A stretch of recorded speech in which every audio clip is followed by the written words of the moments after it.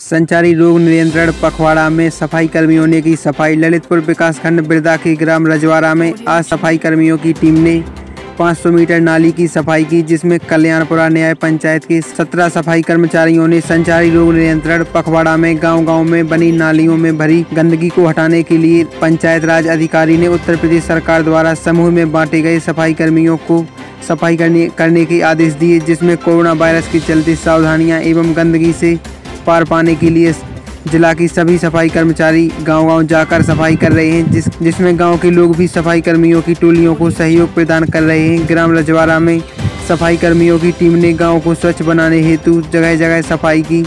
इस मौके पर सफ़ाई कर्मी काशीराम गजेंद्राम अवतार, निरंजन, महेश, प्रभादेवी, जगराम, नंदलाल, प्रदीप, कालीचरण, महेश, दीनदयाल राम प्रकाश पुष्पेंद्र, रामकुमार, रामदीन, राजेंद्र आदि सफ़ाई कर्मी उपस्थित रहे।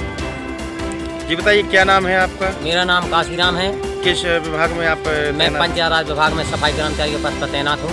जी तो आज आपने क्या काम किया है मैंने वृद्धा ब्लॉक के ग्राम पंचायत रजवाड़ा राजस्व ग्राम में पंचायत भवन से लेकर और श्री संजय दीक्षित की द्वार तक और संजय दीक्षित से द्वार से श्री धर्म सिंह कुशवाहा जी और धर्म सिंह कुशवाहा जी के यहाँ से बस स्टैंड रजवाड़ा तक हम लोगों ने सभी सफ़ाई कर्मचारियों ने टीम बनाकर कोविड 19 कोरोना के तहत स्वच्छ भारत मिशन के अंतर्गत नाली सफ़ाई का कार्य किया और कुछ लोगों ने ग्रुप बनाकर भी झाड़ू लगाकर गलियों की भी सफ़ाई की है।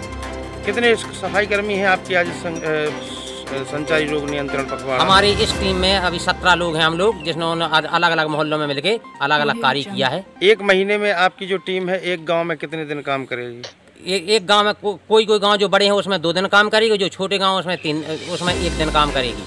तो ये जो सत्रह कर्म सफ़ाई कर्मचारी हैं आपके साथ ये कल्याणपुरा न्याय पंचायत के हैं कि वृद्धा ब्लॉक से हैं आप? ये जो है कल्याणपुरा न्याय पंचायत के हम लोगों का वृद्धा ब्लॉक लगता है।